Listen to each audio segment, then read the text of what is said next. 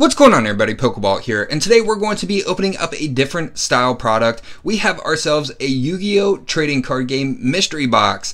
I got this box for not $19.99 as it says on the box. I actually got this box for 80 cents off of Amazon. And that's because of this awesome website called Elite Deals Club. They do daily promotions around 10 a.m. every single day that give you extremely huge discounts on products. Uh, they do have Pokemon cards and Yu-Gi-Oh cards on there. So they give you a promo code, you plug it in on Amazon, and you basically check out. It is pretty simple. Pokemon Wife also did a video on this. They got themselves some Ultimate Collection Box version 4s for like 99 cents. It's absolutely a crazy site. I will leave a link to the website down in the description below for those of you that want to try to snag some deals because they do sell out fast. You don't have to purchase anything. You simply go on, get your deal code, plug it in on Amazon, and check out, but they go super quick. So let's go ahead and take a look at this we have ourselves i've never opened up yu-gi-oh cards before in my life i did watch the anime as a kid but it is a mystery box uh, kinda. Comes with one se box a figure five foil cards three rares and two packs. And retail price is 19.99 and i got it for 80 cents. It is a product made by the fairfield company. We are all familiar with fairfield company and their repackaged products. So let's go ahead take everything out and what is this? What, what's this thing? We have a starter deck. Uh, have no idea what this is. So let's let's open this up and see what it is because I have no idea. I don't really know a thing about Yu-Gi-Oh. So we'll just open it up and see. Something different on the channel.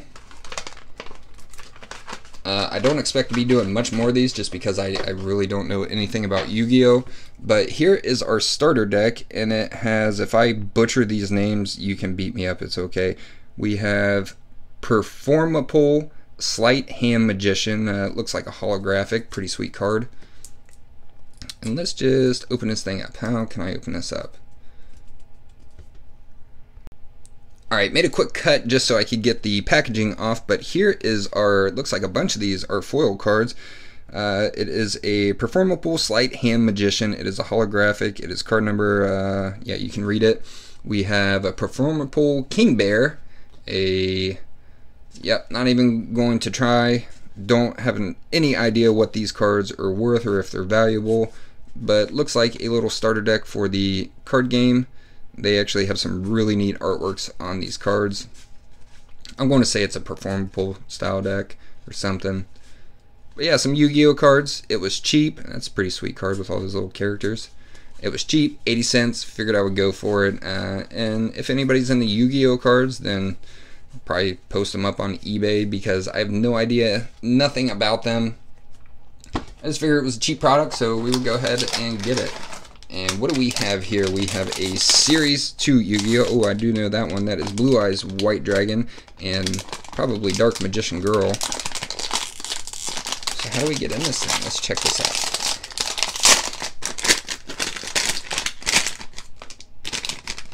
Let's see what this is. Uh, have no idea.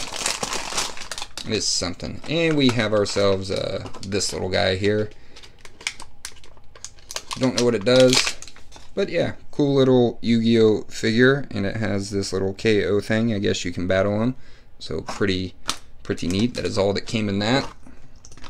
Move all this trash out of the way. Uh, looks like a play style map for the actual game. You get a deck booklet. Tells you exactly what to do, how to play the game, how the cards work, etc.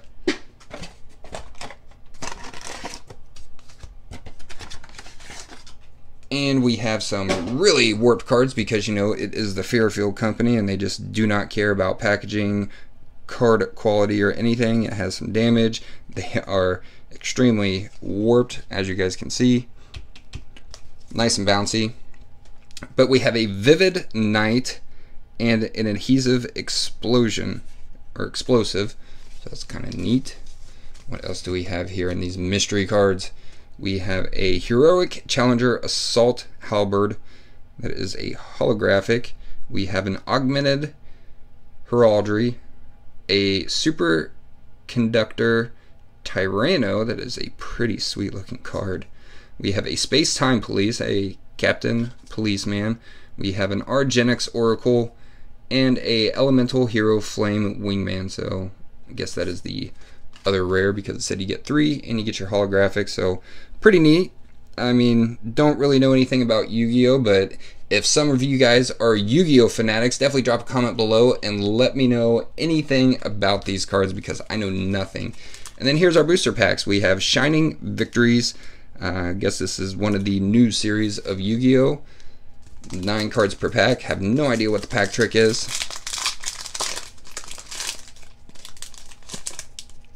Nine cards, I'm going to say it is probably two. So we'll go one, two. And if I butchered it, then apologies. But we have this one, Master with Eyes of Blue. We have a Dwarf Star Dragon, Planeter, uh, Performal Fireflux, Digital Bug Centibit. We have an Amorphage Greed. How do you tell if these are rare cards? You have a Hollow Tuner's High. And yeah, I guess that is our holofoil. And this must be the reverse because the name on it has a hollow. So this is the reverse. And that must be the rare. So, hmm. Cool. Alright, to our next pack of Yu-Gi-Oh cards. So I did do the pack trick right. Figured it was probably similar to Pokemon. Alright, we have a Deskbot base, a performable Cell Shell Crab, a Digital Bug Corebage, a Raid Raptor Booster Strix, the Kaiju Files, our reverse is a Mausoleum of White, looks like a spell card, and a Digital Bug Rhinosebus. Cool. Well, no, I didn't do the pack trick right because there are some other cards. Have no idea what they are, what they do, but I am curious to know how you tell if it is a rare or not. So, yeah, there's our hollow. Here is our reverse. Definitely drop a comment below and let me know anything about these cards because I'm completely clueless. Just figured it'd be something neat to open up. It was a cheap product and something different on the channel. Don't expect too much more of this just because Yu-Gi-Oh! is not really my thing, but eh, it was cheap enough to buy, open up, have some fun with. So hopefully you guys enjoyed this video, and if you did, make sure to smash that like button, subscribe for more, and I will see you all in my next video.